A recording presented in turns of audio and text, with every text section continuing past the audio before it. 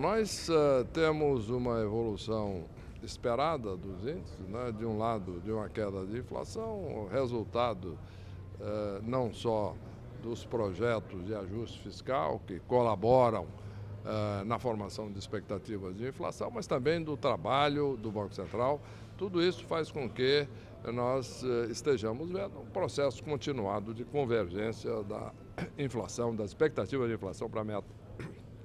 E isso está dentro do esperado. Em relação ao PIB, também é um processo onde está cada vez mais clara que a retomada da economia brasileira ocorrerá.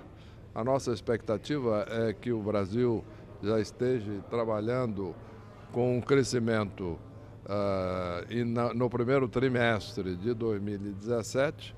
Agora, o crescimento médio do ano é, está, de fato, num patamar baixo e o mercado revisando isso um pouquinho para baixo, mas isso é, é, muito em função exatamente dessa queda pronunciada é, do PIB esse ano, inclusive no quarto trimestre.